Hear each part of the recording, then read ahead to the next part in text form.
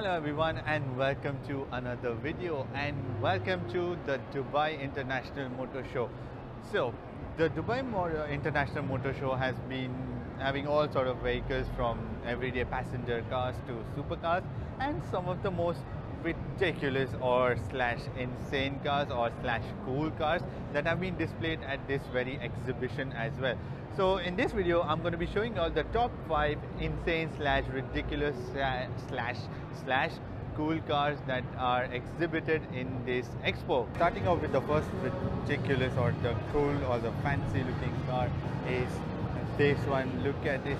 Now you would have probably heard about this car. It's, from the company called as Streit, Streit or Streit from Ukraine. So they've, they've made this, this model called as the Shaman let me come from the front side so it's a proper 8 by 8 uh, 8 wheel drive vehicle and this has a 2.4 liter diesel engine which produces 145 brake horsepower and 320 newton meters of torque. Now you may wonder why is there so less power but this is enough for this to go around everywhere because this isn't meant to break any speed records or go fast but this is essentially for, for regions where roads aren't practically there. So this vehicle can go into anything and also it can go into a puddle not just puddle into a lake into a river. And these, these tires that you see are special tires so it can paddle itself as well. But this eh, oh, this is gigantic. This is the, you know where where I when I am standing next to the vehicle I am right there. That's where my face is. So you can guess how tall this vehicle is and how huge this one is. You also get a, another spare wheel for your one of the eight tires if they just break somewhere or or or are punctured somewhere. So yeah that's the and you've got just two doors and then the seating is inside. So just giving you a quick walk around so it's a, it's a fairly long wheelbase as well. And the, the whole uh, chassis is made out of steel and aluminum mixture of all of that. There's no fancy carbon fiber but these vehicles also cost a bomb. Talking about another mad vehicle is this the the Streit. Uh, it's from the same company that you see the shaman. So Streit is also the this this one is called as the Sherp so this one, first let me tell you the facts. It's got 1.5 liter petrol engine and and 5-speed manual gearbox. The Shaman had 8-speed automatic gearbox.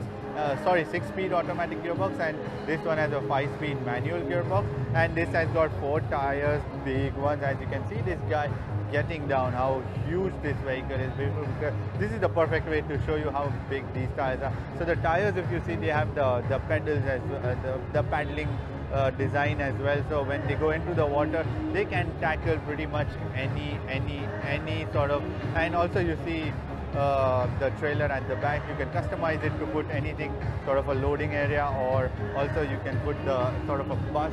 You can make like a like a bus as well. So they have all these combinations from the company itself that you can spec around. But essentially, this has a 1.5 liter petrol engine that produces 44 brake horsepower and 88 newton meters of torque. The top speed of this vehicle is just around 30 miles per hour. But again, who cares? Because this car isn't meant to go around and break speed records but this is something which is a utilitarian car vehicle or, or, or gigantic truck you can say which can just tackle any region any terrain that you can see. Another amazing concept from mitsubishi was this one the e-evolution concept. It's a completely electric car that they made and this is just the the, the sort of uh, uh, design model that's it this this isn't anything that is going to be produced or anything but this is just a futuristic concept vehicle that they put up on display.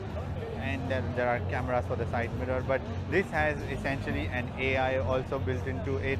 So this car can practically drive itself on its own. There is also electric car technology.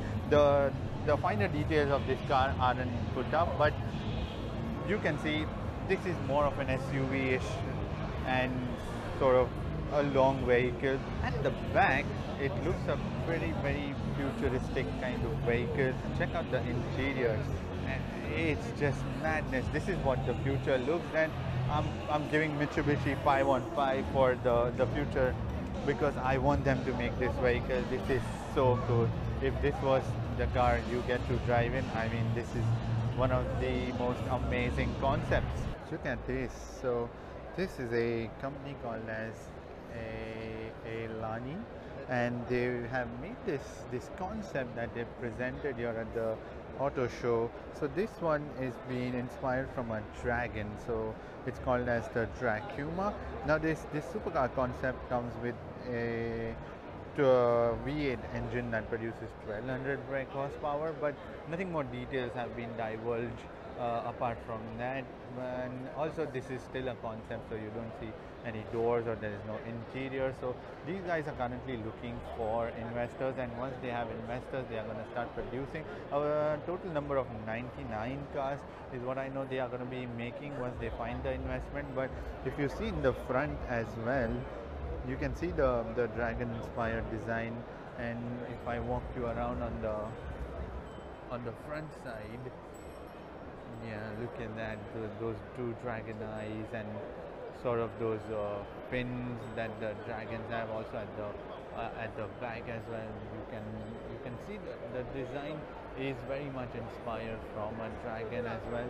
And you can see the subtle design like a Ford GT and also there is uh, I'm guessing this is an air intake but there is no currently it's not open because I'm guessing this doesn't even have an engine at the moment.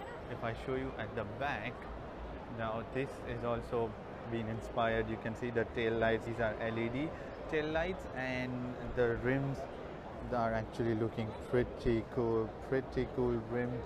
And apart from that you get this this this uh, sort of line bar and the on the top and the the exhaust tip which is a big one. And again this is a concept vehicle so there is nothing inside that has been put. There is no engine there. I'm probably guessing these are the open vents that they'll do and also the exhaust that will be open once there is an engine that will be put up. But the the the aerodynamics are pretty cool and this is more like a futuristic concept that I'll look forward to. The last concept vehicle that I wanted to show you was this. Now this is again another new company called as the Zedro. They've already been teasing on Instagram about their, their car launch that was going to happen at the motor show and that has exactly what has happened and don't be confused because the, the, the design to be honest seems a little familiar with the W Motors, the, the Lykan Hypersport and the Super Sport but I'm not giving away any. Uh, I'm not taking the credit away from from them, but it's just that it, there there are striking you know similarities between the the cars. But the the most important bit about this car that I that I wanted to show was this. It's starting from sixty five thousand dollars. That's about it, and the best part about this car is it's it every single detail can be customized is what they have said. And you can pretty much customize everything and you can see there is an interior also. So this is a ready prototype that they made inside you can see. But it's a little breezy area so let me show you first. The rims the rims are very cool and and they extend all the way almost like quite a bit if I'm honest six inches out from the the center and check this out. Now it may seem a little inspired from the Infiniti to be honest because there you go there you see a clock there is also that and it's pretty much taken away from the the QX70 the Q50 the QX50 the Infiniti versions and I'm pretty sure that's all of that is borrowed from there. And it's also the automatic version this one. But you can customize all of that. And at the back as well there is this very aggressive design uh, that you see in the back. There are these uh, design fins. Now I'm, I'm sure the air goes in here and then comes out from here to make it more streamlined. And this there is this really uh, confusing thing that I found. Like there is this exhaust tip but there is no exhaust but there are two actual exhausts at the bottom so I don't know what is that going on but otherwise it's a very very wide car as well let me tell you these two these two arches are super wide and that makes the car really wide so those were the different concepts or the uh, cool cars or insane car designs that were put up at the motor show. I'm pretty impressed by this design out here, although it's very futuristic. But I'm hopeful that they find investors and this car comes into production because this uh, I, I, had a chat uh, with these guys uh, uh, behind the video as well and they seem pretty promising and pretty committed and I really hope like they find investors to start this production as well anyways give it a thumbs up if you like this video and make sure to share and subscribe for more videos to come until we meet next time bye bye